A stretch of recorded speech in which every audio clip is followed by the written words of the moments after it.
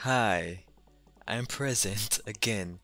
I know you guys are gonna be like, I'm here for like two minutes and then I'm gonna dip for a couple of months, but I'm fixing that. I'm working on that, okay? So Latite Client released a new version that supports Minecraft version 1.21.21 and you know lower. So we're gonna go ahead and go through the changelog while we play some Galaxy. So I have the changelog pulled up and we're gonna go through it.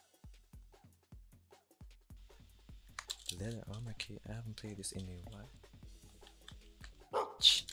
Come here, hoe. Let's go. Every day, I see some stupid shit. I can't. Oops. Uh-huh. Aw, I see what they did. Okay, Galaxy, I forgive y'all. Hi. Why are you running? Why are you running? Hey! Go show tande. Sorry. They also added a no hurt cam. oh, it's not working? Oh, it's a key? Disables camera shake when hurt. Okay, so you guys know what it does. they added RGB support for every color setting. We added the minimal view bobbin. You guys know what that is. And they added downloading and installing plugins directly from their website. Or directly from the website. I'm not sure what website. But it's going to be linked in the description below. Oh, my bad. So, do you guys miss me? However, oh, ah. But you know, we're. Hey! Listen to me, man. Oh, he not there? Oh. Collecting my tokens, my bonus. They added a minimize fix thing it's a new feature in the launcher. If you enable it, you will be able to minimize Minecraft like this. Where is it?